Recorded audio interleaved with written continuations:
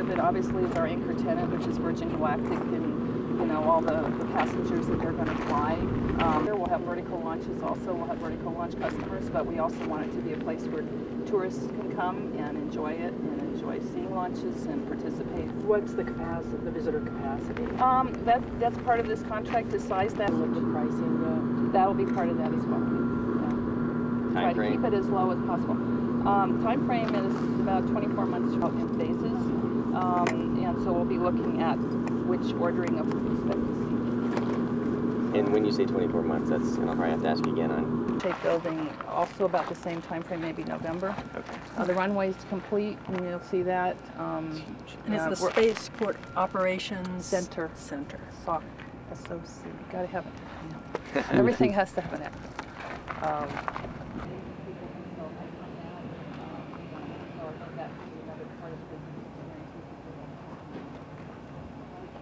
Once this is operational, can they hike in this portion? Uh, well, no, you would like to be entertained and um, have some fun along the way, so that's part of the visitor's experience. And we'll start, we'll, we'll actually start at welcome centers, you know, where you would board the bus and we'll be some interesting things there. And the bus ride itself will most likely be a restaurant sometime. And that's all within the 24 month time frame-ish? Uh, parts of that, again, it's going to have to be phased, so at which pieces are first and actually get that. Are doing out there? So I would really, When everybody else can. yeah, yeah, you know, the, and the camera.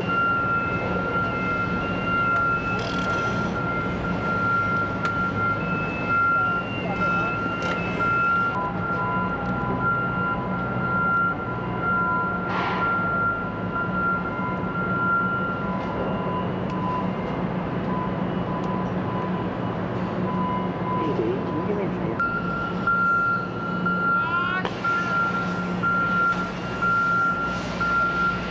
Um, this is the fifth thousand. In terms of uh, visitor experience at the corner. I mean, it's, everything is just very special Yeah. about this building. If I could ask you first to say this for the name and give you your contact. My name is Chris Anderson, C-H-R-I-S-A-N-D-E-R-S-O-N. I'm the Executive Director of the New Mexico Spaceport Authority. Excellent. So, uh, you know, we're here at the spaceport, and um, it's it's kind of the dawn of a new era, if you will, after the space shuttle program ending today.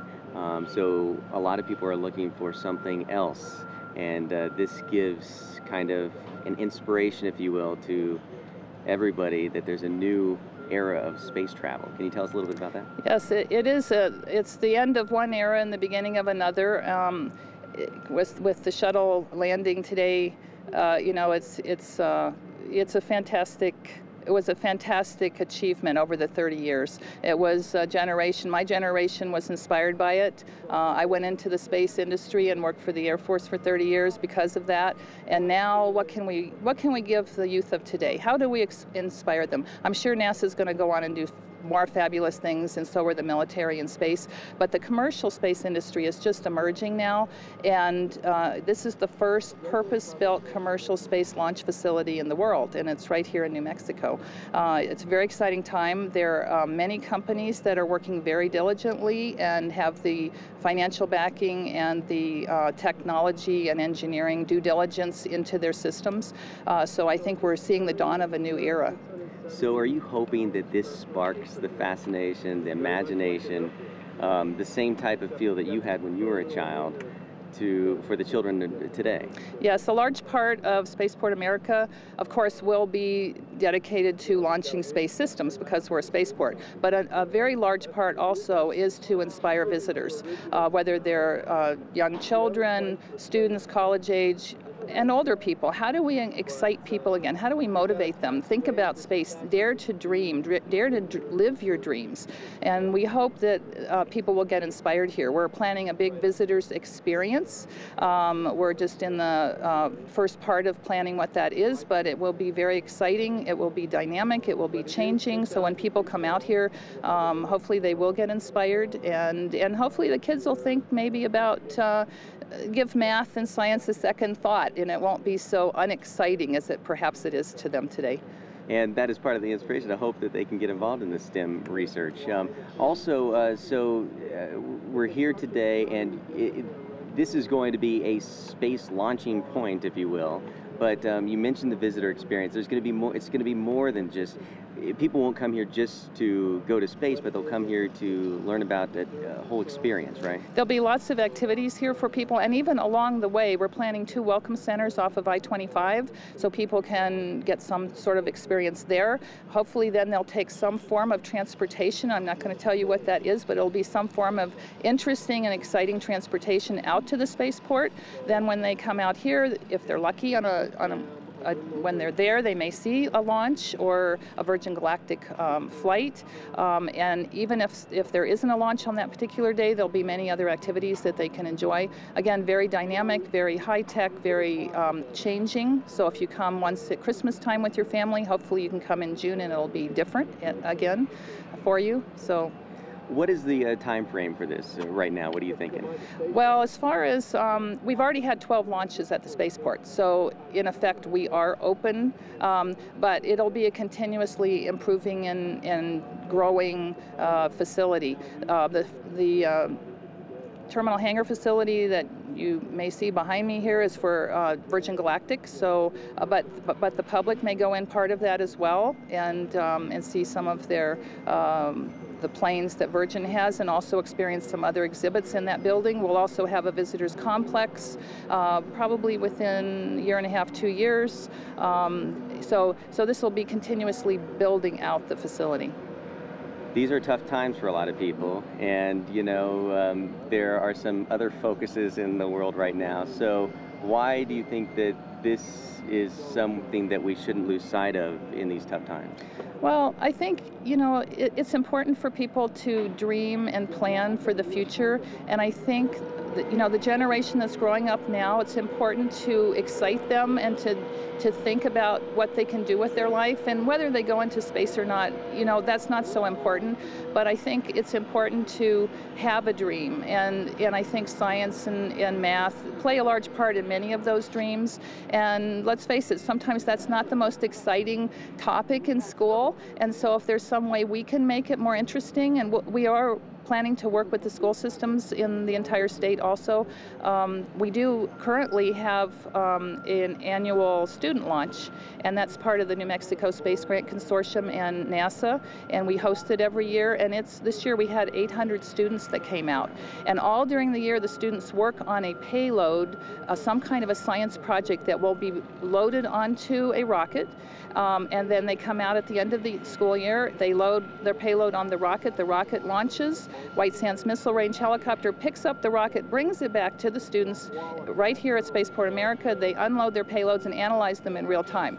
And um, we talked to many of the students, and so many said, you know, I really didn't like science too well, and I didn't like math too well, but I think I might be an engineer now.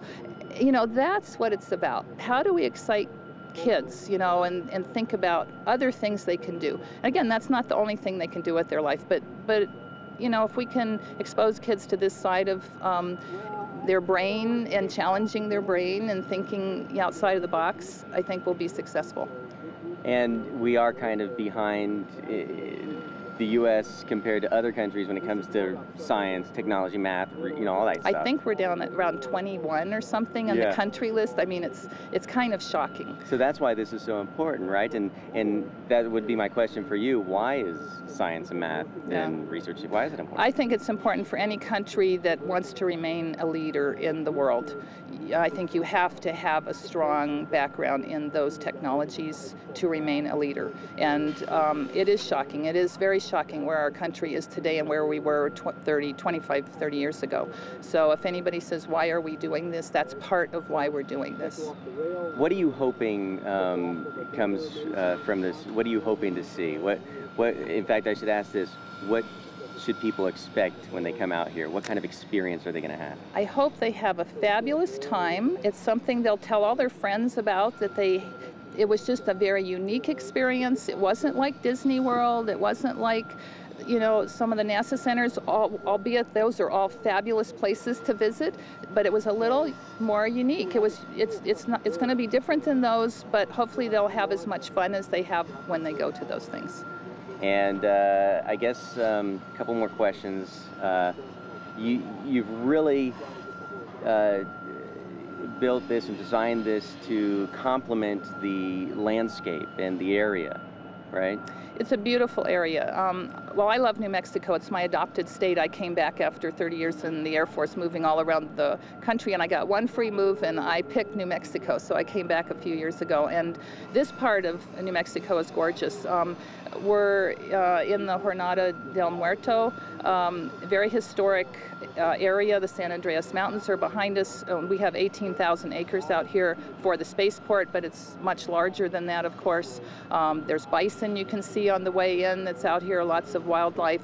We've been very careful about preserving that um, as we built out the spaceport. We have over 22 archaeological sites as, as we uncovered things, and so we're preserving those, and some of those things will also be in the visitor's experience and preserved for people to see who lived here before us. Um, there's evidence of people that existed here 8 8,000 to 10,000 years ago from things that we have found. Um, so I think people would be very interested in seeing that part of it. The uh, beautiful Camino Real Trail also goes right through here. Um, we're busy uh, working with the Forestry Service and parks to preserve that trail also. Um, people could hike on that trail also as part of their experience if they would like. That trail went down from Mexico City all the way up to Santa Fe, and you can still see it. And you can still see where you know people traveled on their horses or, or walked or and so forth. So. Um, that was it's just a fascinating part of the world i think and it's right here in our beautiful state One more question: Who's paying for it? The taxpayers. I'm paying for it. You're paying for it. Um, there was there were bonds, a series of bonds that were sold, um, and the plan is that we will be totally self-supporting when those bonds expire in a few years. So the business model is building up the revenue stream from launches, from tourism, um, and so forth, so that we can be totally self-supporting. We do not have to go back to the state. The taxpayers do not have to pay any more money for this facility, but they can enjoy this facility. And Virgin Galactic, I wanted to ask one more. Virgin Galactic, uh, this is their world headquarters. This is, yes, Virgin Galactic is our anchor tenant. So you can think of it as um, Atlanta Airport, where Delta is the anchor tenant. Virgin Galactic is our anchor tenant. We're very, very pleased to have them uh, Like as an anchor hub. tenant. It's their hub. Someday maybe they'll fly to other spaceports. Um, right now they'll be taking off from here and landing here um, for their passengers' experience. Um, it's a fabulous company. Uh, they're making fabulous progress on their vehicles um, with all the due diligence you would expect of a first-class company. Are you hoping to go up sometime? I hope so. I hope so. Great. All Probably right. not the first flight, though. That's not. for Richard Branson and his family. There you go. Well, thank you very Thank much. you. Thank Perfect. you. Great information. I was, I was, Can I help you out? hope you don't. No, that's fine. But no, and also you. Oh, Yeah. okay. Great Thank you. Well, I don't know, 30 years in the Air Force, I had to do a lot of testifying different places, you know. I had to do the legislative uh, finance committee here in the state, you know, and after the briefing, they said, have you done this before, haven't you? I said, yeah, just a little bit, not to the state level, but, you know. I'll see if I was a Congress. VII investigative reporter, it might be a little bit different, but I'm just a loving guy. And, uh, See, he's you know, a, he's a so I'm friendly. easy. I mean, Actually, and you're No, the traveler. Yeah, this We're is an friendly easy one. Actually, I really have not had too many, you know, unfriendlies. I mean, there was one, I know people that one that we had interviewed a waitress in one of the towns that didn't like it, you know, or I was coming up against well, Sally didn't like you but part of that is my answer to you of why are you? It's to inspire your kids. I was in the subway and I saw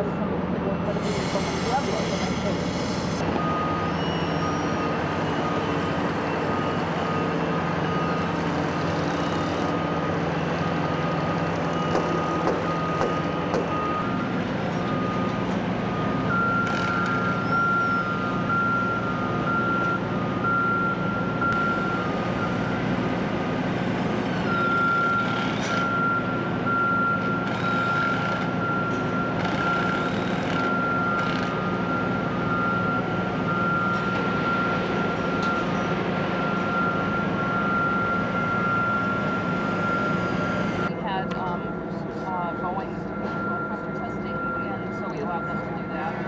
So, you know, we could accommodate that, but that- that's the, I told you, this, the other, well, that's the Spaceport Operations Center, the Mountie thing, and it's, it is a government building.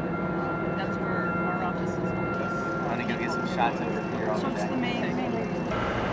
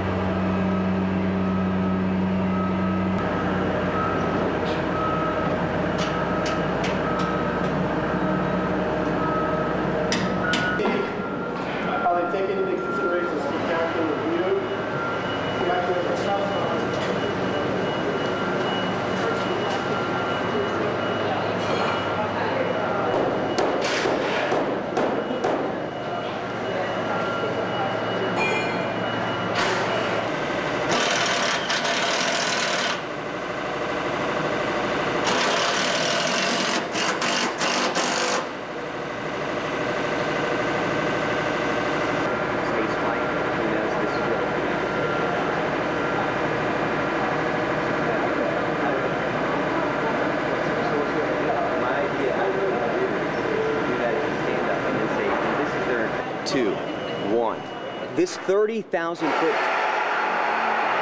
one. This 30,000 foot terminal is the Virgin. What? What'd I say?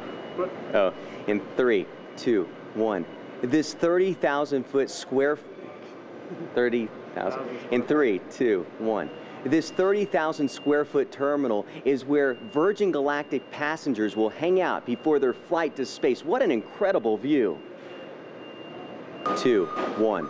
This 30,000 square foot terminal is where Virgin Galactic passengers will hang out before their flight into space. What an incredible view. Two, one. This 30,000 square foot terminal is where Virgin Galactic passengers will hang out before they head out into space. What an incredible view. Three, Two, one. This 30,000 square foot terminal is where Virgin Galactic passengers will hang out before they launch into space. What an incredible view.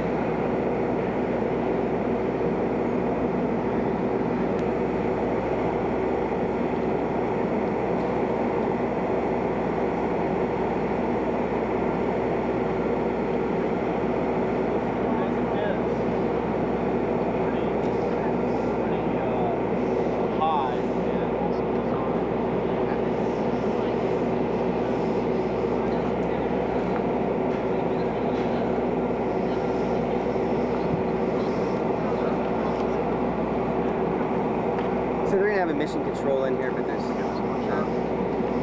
You guys? There you are. They were wondering where you were. Awesome.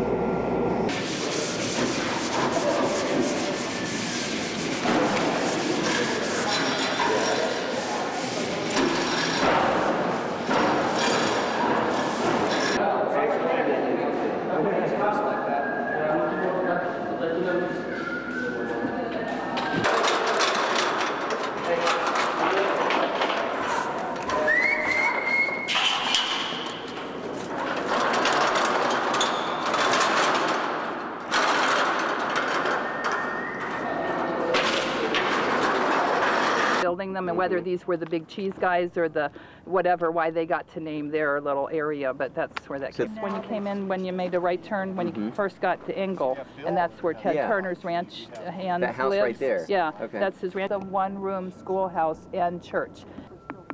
Still have it. Uh, it was unbelievable. It was like, I was just saying a colleague of mine about, you know, they're using it for training sessions.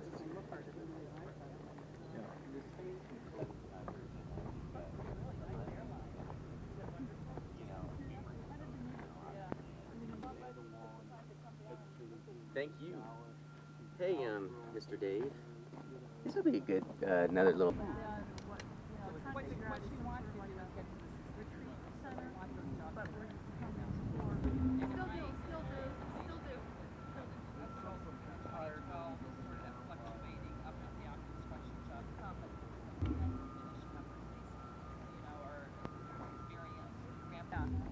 Yeah, the visitor, sure, and, but it'll hopefully be a fair market price, and, and we're looking into what their, you know, what the expectation is of people coming out, and what the pricing was. And the hope is that in just a few more years, engineers and construction workers have got the spaceport to where it is today.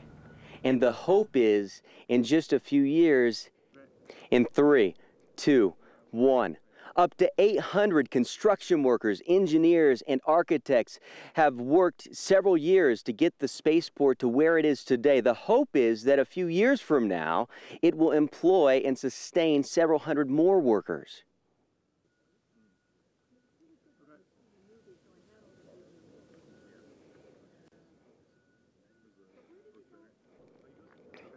Three, two, one. About 800 construction workers, engineers, architects have put the space. ah, shit. sport together. And the hope is that several, in just a few years, several hundred, uh, the facility will will sustain several hundred new jobs. All right, in three, two, one. About 800 construction workers, engineers, and architects put together the spaceport and got it to where it is today. And the hope is in just a few years that the spaceport will sustain several hundred new jobs as well. In three, two, one. About 800 construction workers, engineers, and architects put the spaceport together, got it to where it is today. And the hope is just in a few years, God damn it. Three, two, one. About 800 construction workers, engineers, and architects put the spaceport together, got it to where it is today. And the hope is that in just a few years, it will sustain several hundred new jobs as well.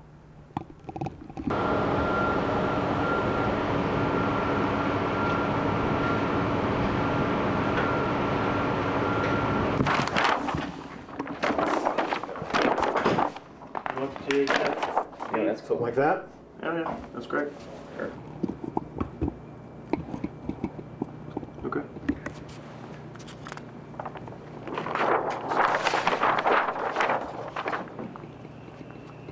Don't pull smoke up my ass. I know what happened. You got it. Oh, yeah, right? Does it look close? Top of it. Does it look close? Does it look close or what? I think, I think. I- So what, what's the questions here? So we're doing the first story is kind of enriching the youth, you know, it's kind of like in dawn of a new. So for you, I was going to ask you a little bit about um, kind of that. Focus on that. Okay. So, say and spell your name and your title. It's David Wilson, and I'm uh, do, do media relations spokesperson for Spaceport America. So you know, it's a dawn of new era. You know, this is kind of uh, an ins- let's let's hope that this inspires kids to get involved in math and STEM research, math, science, technology. Why? How is this helping? You think? Well, I mean, it's a big component. Spaceport America uh, has a big education component to it. Um, part of the economic promise is jobs for New Mexico and, and trying to create higher paying jobs built off of kind of the White Sands model that's already here, except this is a new emerging commercial space sector. But we, we want to train the, the, the, the future uh, workforce long term, and we want them to come out of the New Mexico school systems. And um, so we've already, we're on our third annual, uh, we've had our third annual education launch this year. We're middle school, high school, and college students from around New Mexico and some other states that were inv- invited. Um, put together payloads and shot them to space, and it's a learning experience. So we want that kind of excitement. We want to build that kind of sector where other schools come here regularly and shoot off uh, rockets with experiments and get kids excited. And uh, much like Kennedy did, uh, you know, with the space program.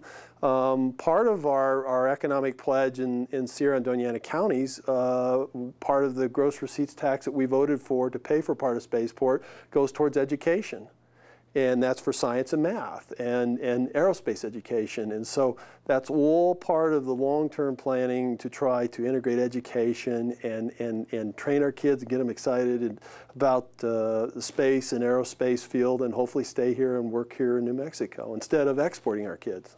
It's more. It's more than just a place where people will be launched into space. It's it's kind of a community center. a learning a learning experience you know field trips and schools coming here and we're, we're in the process of developing the whole visitors experience and part of the education experience but you know we want kids to come here and, and, and learn about things that have to do with science and math and uh, go back and we hope that they become the future engineers and astronauts and and uh, people that are involved in this industry Excellent. Excellent. I think that's good. Cool. Okay, cool. A huge port. It's like 670,000 square feet of concrete there. And that is on the uh, Apron. look- That's on the. That's where the where the the motherships and the spacecraft will come in and park, and and people will get off, and servicing will take them into the hangar from there. It's kind of a staging area. But the aircraft and, and spaceships maneuver around there. You need that big space to turn them around, back them in to the hangar facility, and all of that. Great.